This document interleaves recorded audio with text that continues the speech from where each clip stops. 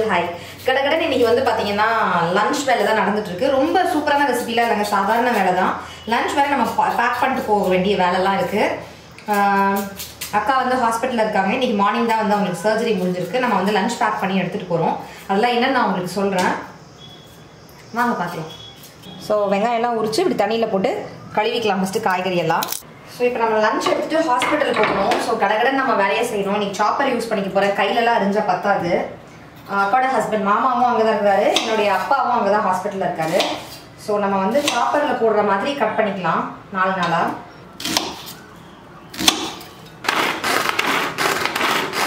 கொத்தமல்லி பச்சை மிளகா வெங்காயம்லாம் நல்லா பொடியை சாப் பண்ணி வச்சுக்கிட்டேன். இந்த பக்கம் பிரீத்தி சாப்பரில் வந்து செப் ஜாரில் வந்து நான் இந்த வெங்காயத்தெல்லாம் சாப் பண்ணி எடுத்துக்க போகிறேன் ஜோடியாக் நீங்க யூஸ் பண்றது இல்லையாக்கா? மாத்திட்டீங்களாக்கா? அப்படின்னு நிறைய பேர் கேட்டீங்க.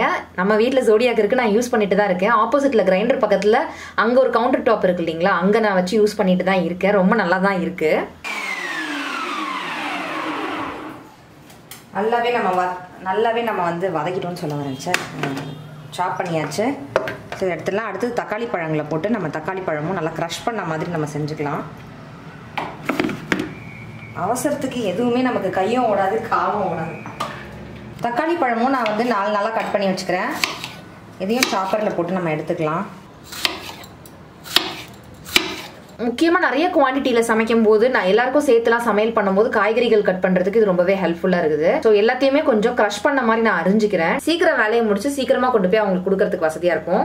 எக்குக்கு தேவையான மஞ்சள் தூள் மிளகு தூள் உப்பு இதெல்லாம் சேர்த்து கலந்து ஆல்ரெடி இங்கே நான் வச்சுருக்கேன். இங்கே வந்து எண்ணெய் சுட்டு சுட்டுருச்சுன்னா கடுகு உளுத்தம்பருப்பு கருவேப்பிலை பச்சை மிளகா சேர்த்துக்கிறேன். பெருங்காயம் சேர்த்துக்கிறேன். பூண்டு சேர்த்துக்கலாம். இன்னைக்கு வந்து குக்கரில் தாங்க சாதம் வைக்கிறேன். ஏன்னா எல்லாருக்கும் செய்கிறதுனால கொஞ்சம் குக்கர்னா வசதியாக இருக்கும். அதனால் குக்கரில் வந்து சாதம் வச்சாச்சு. இங்கே வந்து பூண்டு நல்லா வதங்கிடுச்சு. இந்த நேரத்தில் வெங்காயம் சேர்த்துக்கலாம்.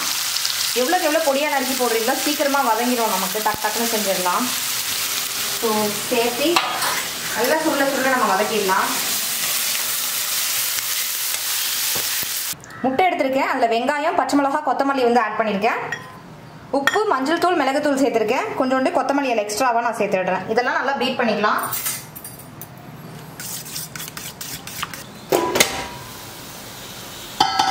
வெங்காயம் நல்லா வதங்கிடுச்சு இந்த நேரத்தில். காஷ்மீரி சிவப்பு மிளகாய் தூள் குழம்பு மிளகாய் தூள் தனியாத்தூள் எல்லாமே சேர்த்துக்கிறேன். சேர்த்து நல்லா வதக்கிடுவோம் எண்ணெயிலேயே. ஸோ நல்லா வதங்கிடுச்சு. எண்ணெய் மிதக்க மிதக்க வந்துடுச்சு இந்த நேரத்தில் நம்ம க்ரஷ் பண்ண மாதிரி வச்சுருக்க தக்காளியை சேர்த்துக்கலாம். நல்லா பழுத்த தக்காளியாக எடுத்துக்கோங்க. இந்த மாதிரி தக்காளி தொப்பு செய்யும்போது. இந்த மாதிரி தக்காளி தொப்பு செஞ்சீங்கன்னா கெட்டு போகாது சீக்கிரமாக ஊருக்கெல்லாம் போகும்போது கூட நீங்கள் தாராளமாக இதை எடுத்துகிட்டு போகலாம் தேவையான அளவு உப்பு சேர்த்துடுறேன். கெட்டு போகாமல் இருக்கணும் அப்படின்றதுனால நான் என்ன பண்ணுவேன்னா இதை மூடி ஒரு மூணு விசில் வந்து நான் வச்சிருவேன். மூணு விசில் வந்ததுக்கப்புறம் அடுப்பு ஆன் பண்ணி நல்லா சுருள சுருள சுருள சுருள வதக்கி இறக்குவேன். அப்படி தான் செய்வேன். ஸோ இப்போ இதை வந்து க்ளோஸ் பண்ணி மூணு விசில்ஸ் விட்டுறேன் மூணு விசில் விட்டதுக்கப்புறம் நான் ஆஃப் பண்ணிட்டு என்ன பண்ணணும்னு காட்டுறேன். தக்காளி தொக்கில் விசில் வந்துச்சு இறக்கி ஓரமாச்சுன்னா ப்ரெஷர் ரிலீஸ் ஆன உடனே நம்ம அவங்கள பார்க்கலாம். அதுக்குள்ளே ஆம்லெட்ஸ் வந்து டக் டக்குன்னு போட்டு எடுத்துடலாம் நம்ம. மாமாக்கு வந்து ஆம்லெட்ஸ்னா பிடிக்கும். அவர் எக் மட்டும் தான் சாப்பிடுவாரு. நான்வெஜ்ல வேற எதுவும் சாப்பிட மாட்டாரு. ஸோ அவருக்காக ஆம்லெட்டாவே போட்டுடலாம். நான் ஆம்லெட் போடுறேன்.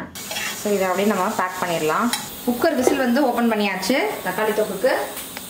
இப்போ இது நல்லா ஸ்மாஷ் ஆகிற அளவுக்கு நம்ம இதை வதக்கி வதக்கி வதக்கி இறக்க வேண்டியது தான் க்ளோஸ் பண்ணி வச்சு க்ளோஸ் பண்ண வச்சு அவ்வளோதான் ஸோ நான் இறக்கும்போது உங்களுக்கு காட்டுறேன். நல்லா ஊறுக்காய் மாதிரி எண்ணெய் பிரிஞ்சு வரணும்.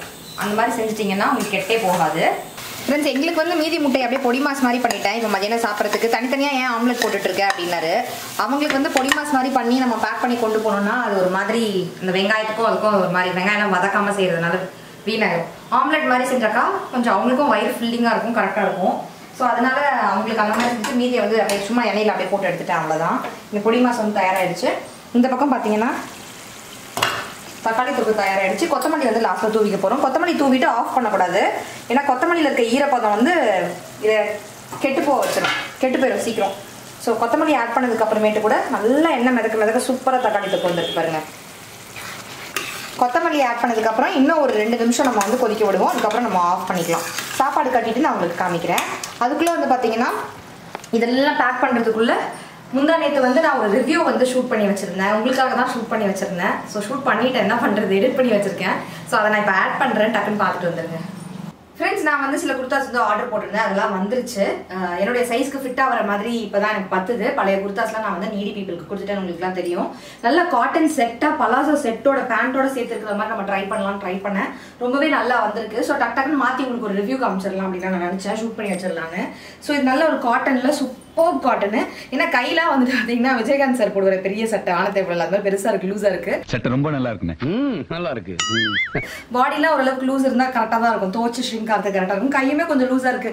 பரவாயில்ல கொஞ்சம் கம்ஃபர்டபுளாக இருக்கும் வேலைலாம் செய்யறதுக்கு அப்படின்ற மாதிரி. ஒயிட் அண்ட் எல்லோவில் இருக்குது ஒரு நல்ல எல்லோ பளிச்சு எல்லோ இல்லாமல் ஒரு மைல்டான சூப்பர் எல்லோ இங்கே வந்து பார்த்தீங்கன்னா நம்ம பட்டன் டீடைலிங் இருக்குது இங்கே ஃபர்ஸ்ட் ஒரு பட்டன் இருக்குது அண்ட் பலாசோ பேண்ட் வந்து கொடுத்துருக்காங்க. எப்பவுமே எனக்கு பலாசோ பேண்ட் வந்து பத்தவே பத்தாது. பட் இது வந்து ரொம்ப பர்ஃபெக்டாக பற்றிருக்கு நல்லா பெருசாகவே இருக்குது சுற்றுலா பேண்ட்டில் வந்து பார்த்தீங்கன்னா ரொம்ப அழகான ஒரு காட்டன் குர்த்தா அப்படின்னு சொல்லுவேன். கண்டிப்பாக எல்லாரும் ட்ரை பண்ணுங்கன்னே சொல்லுவேன். நிறைய கலர்ஸும் இருக்குது பாருங்கள் ஸோ அடுத்தது வந்து பார்த்தீங்கன்னா இந்த குர்த்தா தான். நல்லா பியோர் காட்டனுங்க இந்த காதிலாம் வரும் பார்த்தீங்களா அது மாதிரி நல்ல ஒரு காட்டனு இதில் வந்து நிறைய கலர்ஸ் இருக்குது இதில் வந்து நான் ரெண்டு கலர்ஸ் வாங்கியிருக்கேன். ஒன்று வந்து பார்த்தீங்கன்னா இந்த வயலட் கலர் இந்த பர்பிள் கலர் அண்ட் இன்னொன்று ஒன்று பார்த்தீங்கன்னா ஒரு கிரேஷ் கலர் நான் காமிக்கிறேன். இந்த மாதிரி உங்களுக்கு பட்டன் டீட்டெயிலிங் வருது. த்ரீ ஃபோர்த் ஸ்லீவ் இருக்குது இங்கே ஒரு பட்டன் கொடுத்துருக்காங்க. உள்ளே வந்து ஒரு த்ரெட்டுமே இருக்குது எல்போ லென்ஸ்க்கு இந்த கஃபை வந்து தூக்கி விட்டுட்டு நீங்க வந்து இந்த மாதிரி ஒரு த்ரெட் கொடுத்துருக்காங்க. இதை வந்து நீங்க எங்க பட்டன்ல மாட்டி விட்டுறலாம். இந்த மாதிரி ஆயிரும் உங்களுக்கு. ஸோ லூஸா தான் கொடுத்துருக்காங்க. இப்படி லூஸா வேணாம் அப்படின்றவங்க இந்த மாதிரி மடிச்சு இதில் மாட்டிக்கிறதுனா மாட்டிக்கலாம். சைட் ஸ்லிட் உள்ளது. காட்டன்றதுனால ரொம்ப கம்ஃபர்டபுளா இருக்கு. எவ்ரிடே வேக்கு ரொம்ப நீட்டா எலிகண்டா இருக்கக்கூடிய ஒரு குர்த்தா இது வந்து பாத்தீங்கன்னா ஒரு சைஸ் பெரிய குர்த்தா நான் வாங்கியிருந்தேன். ரெண்டுத்துல எது செட் ஆகும் தெரியல. நான் போட்டிருக்கிறது வந்து பாத்தீங்கன்னா எக்ஸல் போட்டிருக்கேன். இது வந்து பாத்தீங்கன்னா டபுள் எக்ஸல் ஸோ இது வந்து கொஞ்சம் பெருசாவே இருக்கு எனக்கு. ஸோ இது வந்து கரெக்டா இருக்கு. இதை நான் இப்போ வந்து மாத்திட்டு என் சைஸ்க்கே ஒன்று போட்டுடலாமான்னு பார்க்குறேன் அப்படி இல்லைன்னா அக்காவுக்கு கொடுத்துடலாமான்னு பார்க்குறேன் ஏன்னா அக்காவுக்கு வந்து இந்த மாதிரி குர்தாஸ் வந்து ரொம்ப பிடிக்கும் காட்டன்ல அக்காவுக்கு பிடிச்சிருக்கு அப்படின்னாக்கா நான் அவளுக்கு கொடுத்துருவேன் ரெண்டு பேரும் மேட்சா போடும்போது நான் வீடியோல காட்டுறேன். ஃப்ரெண்ட்ஸ் லாஸ்ட் நம்ம பார்க்கக்கூடிய குர்தா வந்து பாத்தீங்கன்னா இந்த pink colour full kurta set தான். துப்பட்டா அண்ட் பேண்டோட சேர்த்து வருது.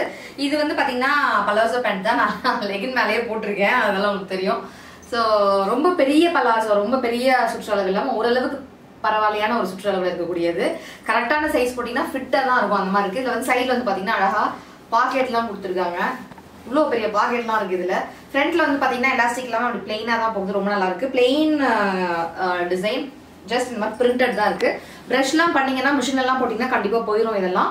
ஷாம்பு வாஷ் பண்ணிங்கன்னா ரொம்ப பர்ஃபெக்டாக இருக்கும். ட்ரெஸ்லாம் எனக்கு ரொம்ப பர்ஃபெக்டாக இருக்குது கை மட்டும் பார்த்தீங்கன்னா கொஞ்சம் லூஸாக தான் இருக்குது அண்ட் துப்பட்டா வந்து பார்த்தீங்கன்னா ரொம்ப ஒண்டர்ஃபுல் வாவ் மெட்டீரியல்னு சொல்ல மாட்டேன். அந்த பிரிண்ட்ஸ்லாம் வந்து கண்டிப்பாக போயிடும் அப்படின்னு தான் நான் சொல்லுவேன். ஸோ ஷாம்பு வாஷ் பண்ணிங்கன்னா ரொம்ப நாளாக நம்ம மெயின்டைன் பண்ணிக்கலாம். நல்லா பெரிய துப்பட்டாவாக இருக்குது நீங்கள் இந்த மாதிரி ஃப்ளோட்டிங்லேயும் போட்டுக்கலாம். இல்லை டபுள் சைட் நீங்கள் இந்த மாதிரி கூட போட்டுக்கலாம்.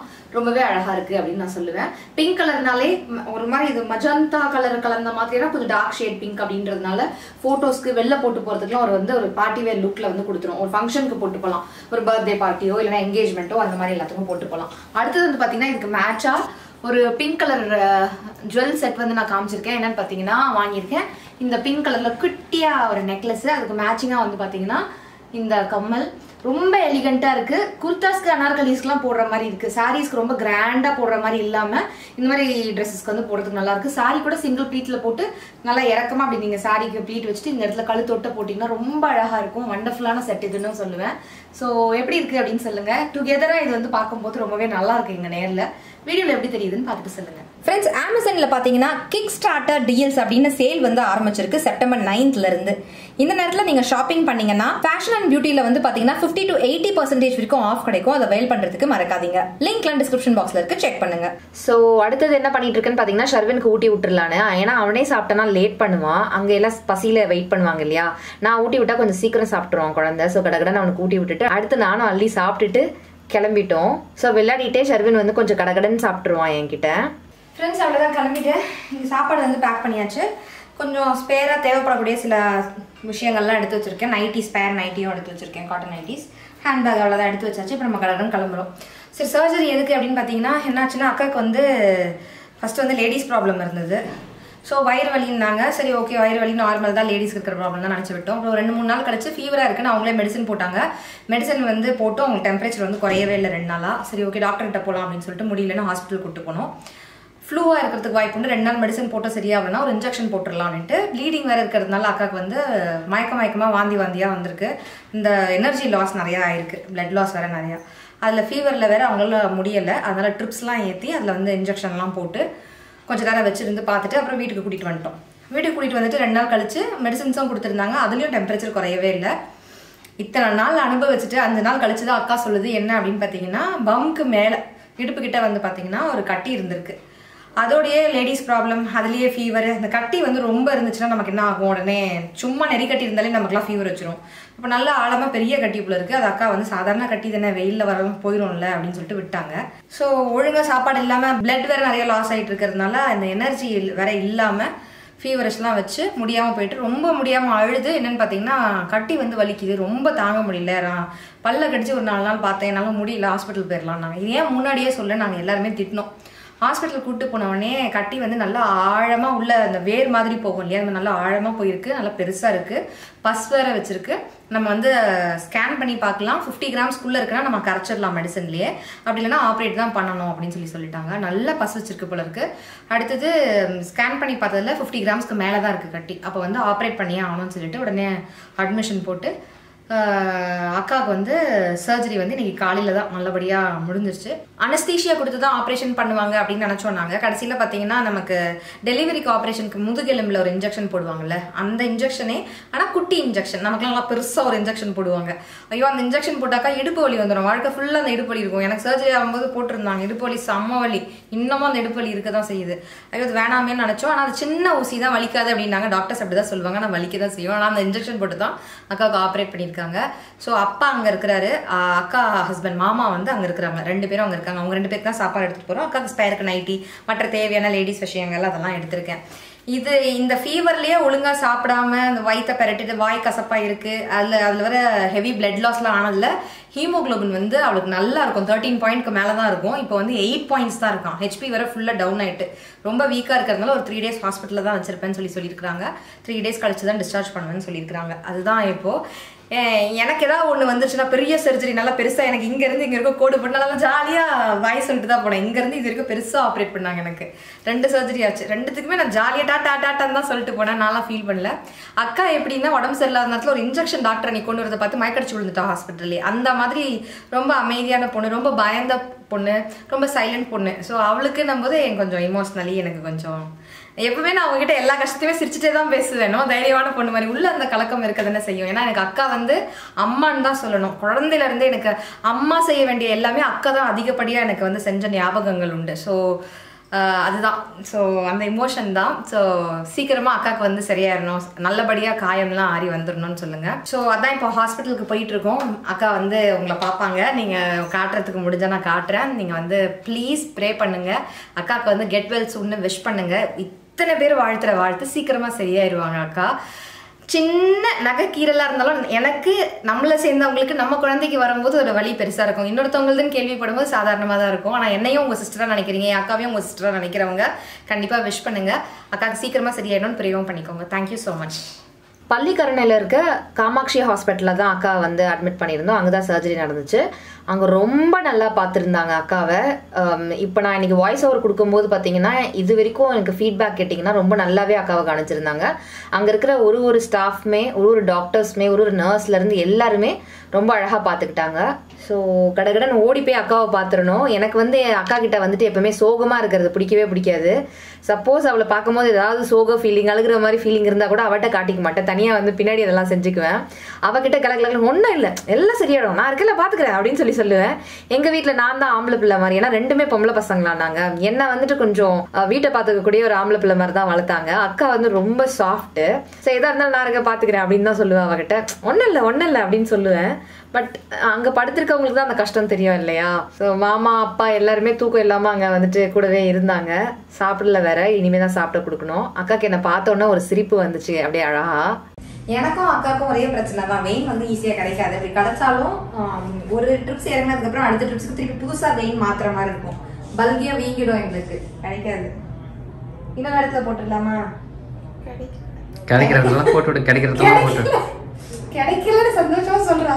ஊசினா பய மயக்கடிச்சு விழுந்துருவா அவ. முன்னாடியே கட்டின்னு சொல்லிருக்கலாம்ல. வெயின் என்ன மாதிரியே அவளுக்கும் வெயினே கிடைக்கல. நிறைய இடத்துல குத்தி விட்டுருக்காங்க போல இருக்கு. ஏன்னா எங்களுக்கு கிடைக்காது. சரியா இறங்காம இருந்தது. எனக்கு நிறைய சர்ஜரிஸ் நிறைய டாக்டர்ஸ்க்கெலாம் போய் போய் அதை லைட்டாக அப்படி பெண்ட் பண்ணி விட்டா வந்துரும் தெரியும். அந்த இதில் நானுமே பண்ணி விட்டேன். ஜி வந்து கலாச்சிட்டு இருந்தார். என்னம்மா டாக்டர் அம்மா அப்படிலாம் சொல்லிட்டு இருந்தாரு. அக்கா அதை பார்க்கும்போது லைட்டாக சிரிச்சாங்க. அது வந்து சந்தோஷமா இருந்தது. ஒரு ஃபேமிலியோட ஒரு கஷ்டத்தில் பெயினில் இருக்கும்போது நம்ம கலகலன்னு அவங்கள வச்சுக்கும் போது அந்த பொன்முறுவலா ஒரு சின்ன சிரிப்பு அவங்க முகத்தில் கொண்டு வர முடியுதுன்னும் போது ஒரு சந்தோஷம். ஸோ நான் போய் தான் விதத்தை முடிச்சு வச்சாங்க அப்படின்ற மாதிரி அப்பா இளநீ வாங்கிட்டு வந்திருந்தாங்க. கொடுக்கலாம்னு சொல்லிட்டாங்க டாக்டர் அதனால கால் கால் டம்ளராக ஒரு ரெண்டு மூணு வாட்டி நான் கொடுத்தேன். மொத்தமா ஒரு அரை கிளாஸ்ல இருந்து முக்கால் கிளாஸ் தான் குடிச்சிருப்பாங்க. தண்ணியே குடிக்காது இது. தான் வெளியில வந்தாக்கா தண்ணி குடிச்சா சூசு போனோம்ல எல்லா லேடிஸும் பண்றது இதுதான் வெளில போனாக்கா நம்ம ரெஸ்ட் ரூம் போறதுக்கு கடை கூச்சப்பட்டுக்கிட்டு நம்ம தண்ணி குடிக்கிறதே இல்லை. யூரினரி இன்ஃபெக்ஷனு யூட்ரஸ் நிறைய ப்ராப்ளம் வருது. இந்த மாதிரி எல்லா ப்ராப்ளமும் அதனால தான் வருது. டாக்டர் தண்ணியே சூசு போறதுக்கு வெளில சரிங்க டாக்டர் அவங்களுக்கு கொடுங்க டாக்டர் முதல்ல கொடுத்து சொல்லுங்க. இவ்வளவு நேரம் இந்த ரூம்ல இருந்து வெளில சத்தமே வந்திருக்காது. நான் எப்பவுமே எவ்வளவு சோகமான இடத்துக்கு போனாலும் சிரிக்கிறாருமா வெளில இருந்து டாக்டர் எட்டி பார்க்க போறாங்க. ட்ராப் சைலண்டா இருந்துச்சு இந்த ரூம் இவ்வளவு நேரம். ஆப்ரேஷனுக்கு அப்புறம் நான் வந்தோடனே தான் கொஞ்சம் அப்படி சத்தமே வெளில கேட்குது. ஒரு ஒரு ரெண்டு இளநீர் இருக்குது. ஏதாவது ஆச்சுன்னா இங்க இருக்கும்போதே பாத்துக்கலாம் நம்ம. ஆண்டி எங்க பிடிச்சிக்கிறாங்க? ஒரு பேசன் வச்சிருப்பாங்க எங்கது? அதெல்லாம் கிடையாது ஒன்னே வராதுங்க. இல்லையா? அனஸ்தீசியா இல்ல இல்லைன்னா வாந்தி வாந்தியா வரும் உனக்கு. இன்ஜெக்ஷனோட முடிஞ்சிருச்சு அது ரொம்ப சந்தோஷப்படுது அடுத்தது மாமாக்கும் வந்து பரிமாறிட்டேன் நான். சாப்பிட்ருங்க கையோட லேட் பண்ணாதீங்க அப்படின்னு சொன்னேன். சரி வச்சுட்டு நான் சாப்பிட்றேன் அப்படின்னாங்க. அப்பா வந்து மாமா சாப்பிட்டதுக்கப்புறம் நான் சாப்பிட்றேன் அப்படின்னு சொல்லி சொன்னாரு. அப்பா வந்து நேற்று ராத்திரி அக்காவுடைய ஹாஸ்பிட்டல் அட்மிட் ஆகும்போது கூட போயிருந்தாரு. இப்போ வரைக்கும் அவர் ஃப்ரெஷ்அப் ஆகல. ஸோ ஃப்ரெஷ்அப் ஆகிட்டு நான் சாப்பிட்றேன் அப்படின்னு சொல்லியிருந்தாங்க. நேற்று வந்து ஹாஸ்பிட்டலுக்கு அப்பா நாங்கள் வந்தோம்னு டக்குன்னு போய் குளிச்சுட்டு வந்துட்டாரு. பாவம் அதே ட்ரெஸ்லேயே இருந்தாரு. வேணும் சாப்பிடாமே இருந்தது. இளநீ இப்பதான் நான் ஊட்டி விட்டேன். அடுத்து வந்து பாத்தீங்கன்னா அவங்களே கஞ்சி கொண்டாந்து கொடுத்துருக்காங்க. டைம் பார்த்து அவங்களே எடுத்துட்டு வந்து ஒன்று ஒன்றா கொடுத்துட்றாங்க. வேணாம் வேணாம் நீட்டு இருக்கா உட்கார வச்சு ஊட்டி விட்டு சாப்பிட வச்சுட்டு தான் அடுத்து வர. இருமா இருமா. இருமா. ஹைட் எத்தவா எதை அழுத்தணும்?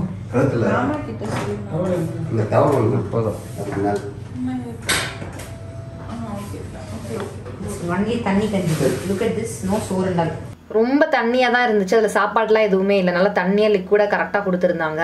அக்காவுக்கு உப்பு கரெக்டாக இருக்கா? இல்லை கசக்கிற மாதிரி இருக்கா? இப்படி இருக்கா? அப்படி இருக்கா? அதெல்லாம் கேட்டிருந்தேன். இப்படியே குடிக்கிறியா டம்ளர்லன்னு கேட்டேன். ஓகேன்னா ஸோ என்னால் முடிஞ்ச வரைக்கும் அவளோட முகத்தில் நான் ஸ்மைல் கொடுக்குற மாதிரியே அவளை வந்து நான் கலகலன்னே வச்சுக்கிட்டேன். அந்த கொஞ்சம் நிமிஷங்கள். அப்புறம் அவள் வந்து சரியாக தூங்கவே இல்லை. சர்ஜரி முடிஞ்சதுலேருந்து அப்புறம் நான் கொஞ்ச நேரம் அப்படி பேச்செலாம் கொடுத்ததுல கொஞ்சம் அவளே வந்துட்டு ஒரு மாதிரி ரிலாக்ஸ்டாக ஆயிட்டா. அந்த அந்த ஒரு ஹாஸ்பிட்டல் மூட்லேருந்து வெளியில் வந்துட்டா.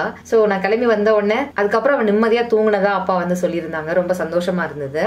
எல்லா பெண்களுக்கும் இதுல ஒரே ஒரு விஷயம் சொல்றேன். என்னன்னு பாத்தீங்கன்னா நம்ம தான் நம்ம குடும்பத்துடைய ஆரோக்கியத்தையே பாத்துக்கிறோம். ஸோ நமக்கு ஏதாவது சின்னதா ஒண்ணு வந்துச்சுன்னா உடனே அது என்னன்னு பாத்துருங்க. சும்மா ஒரு மெடிசனை போட்டு சரி பண்ணிக்கலாம் அப்படின்லாம் இல்லாம உங்க ஹெல்த்துக்கும் கொஞ்சம் இம்பார்ட்டன்ஸ் கொடுங்க அப்படின்னு சொல்லி சொல்லுவேன். அக்காக்காக விஷ் பண்ண ப்ரே பண்ண ஒருவருத்திற்கும் நன்றிகள். Thank you so much for வாட்சிங் friends take care tata bye